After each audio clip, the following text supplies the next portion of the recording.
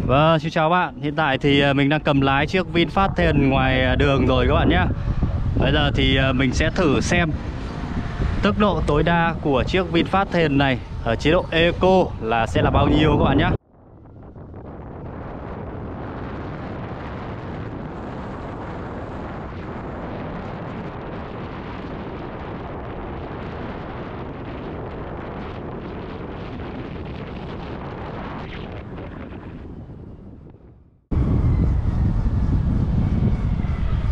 Với chế độ Eco thì à, tốc độ tối đa của nó sẽ được giới hạn ở mức 50 km một giờ.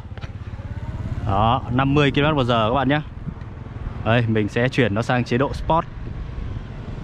Chuyển chế sang chế độ Sport thì các bạn sẽ ấn cái nút Sport đây Và giữ một khoảng 2 giây là nó sẽ chuyển sang. Đó, nó đã chuyển sang chế độ Sport và nó nhảy ở trên này. À, Bây giờ thì mình sẽ thử tăng Max Speed của chế độ Sport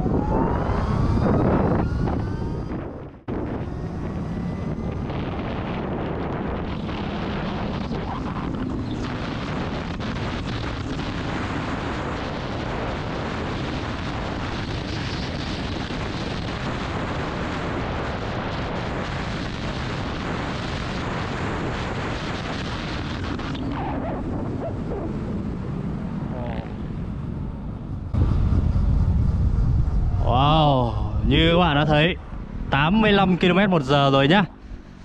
Thực sự thì 90 km một giờ không không phải là khó. Nếu mà có thêm một chút đường nữa các bạn nhá. Đây, mình sẽ tiếp tục này. Đây, và bây giờ thì mình sẽ từ vị trí đứng yên và thử chạy max speed chiếc VinFast Thền này xem Tốc độ tối đa của nó liệu đạt được 90 km một giờ hay không các bạn nhá. Lần trước thì mình đã chạy được lên đến 85 km một giờ rồi. Và bây giờ chúng ta sẽ bắt đầu nhá.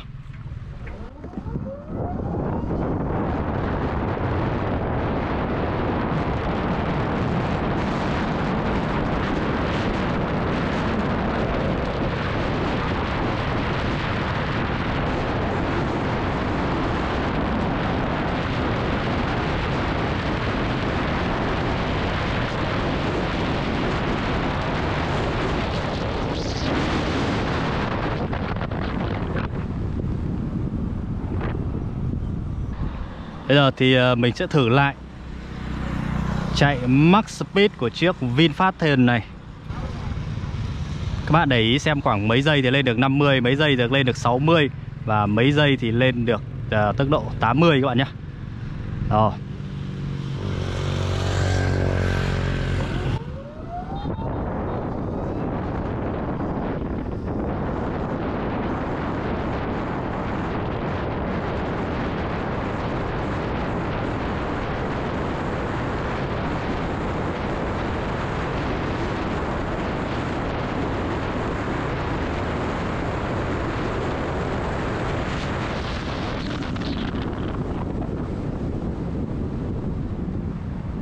Wow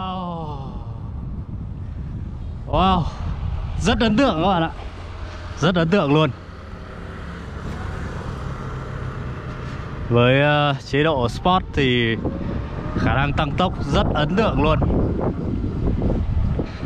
Rất dễ dàng để lên được 60 Để lên được 70 Tuy nhiên được đạt được 80 hay là đạt được gần 90 km h thì hơi khó hơn một chút. Tuy nhiên uh, cái gia tốc cực sự rất ấn tượng các bạn ạ. Và phải công nhận là khi các bạn chạy ở tốc độ 80 mấy km h rồi Nhưng mà xe vẫn rất chắc chắn, vẫn rất đầm luôn. Ngoài ra thì mình phải công nhận là cái hệ thống phanh của chiếc VinFast Thiền này cũng hoạt động rất hiệu quả Với à, công nghệ ABS hai kênh của Continental Hay là hệ thống khuộc trước. Sau đều là của thương hiệu Sowa mang đến một trải nghiệm rất thú vị, rất thú vị luôn các bạn ạ. Đây mình sẽ thử lên cái G giảm tốc cao à cái G cao này ra các bạn nhá. Đó, đây là cái bề mặt đường mấp mô này. Wow. Giảm sóc làm việc rất hiệu quả các bạn ạ. Đầu xe chỉ hơi rung rung rung rung còn phía sau là rất bình thường các bạn nhé Phía sau gần như là rất ít những cái lực tác động lên người của mình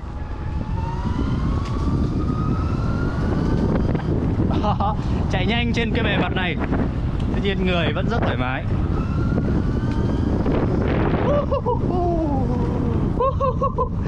Gia tốc rất ấn tượng luôn. Cảm xúc, rất cảm xúc các bạn ạ. Rất cảm xúc với một mẫu xe made in Việt Nam. Mình thể à, chuyển sang chế độ eco xem thế nào các bạn này xem nó còn cảm xúc. Wow nhẹ nhàng nhẹ nhàng hơn rất nhiều luôn các bạn ạ không còn cục xúc như chế độ sport nữa. Đó, nhẹ nhàng nhẹ nhàng hơn rất là nhiều luôn.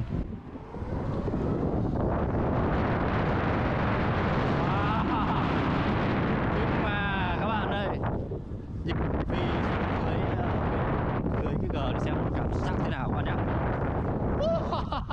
rất ấn tượng luôn Wow, chỉ eco thôi đây cái chỗ này nó cao hơn để xem có leo được không. Wow, rất nhẹ nhàng. Mình cứ nghĩ là sẽ chạm gầm Tuy nhiên lại không hề chạm gầm các bạn ạ. Cứ tưởng là chạm gầm nhưng lại không chạm gầm. Mình sẽ thử lao xuống một phát nữa nhá. Wow, rất thú vị các bạn ạ. Phải nói là rất ấn tượng với hệ thống cảm xúc của Showa luôn. Để mình lên rồi lại một lần nữa các bạn nhá. Xuống một lần nữa. Wow, lên lên cũng rất dễ. Mà xuống cũng rất dễ. Đây mình sẽ lao xuống này. Wow, rất êm con ạ.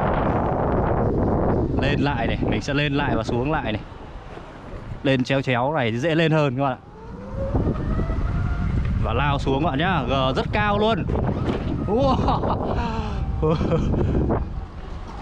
Mình phải công nhận một điều là ngoài cái việc hệ thống giảm sóc làm việc hiệu quả ra Thì mình công nhận một điều là cái thân xe và cái khung xe cũng rất chắc chắn. Nó đảm bảo cho việc mình lên và xuống. Cái vỉa hè như vừa giờ ấy nó không có những cái sự uh, những những cái chi tiết của xe nó không bị va đập và nó tạo nên những cái tiếng kêu.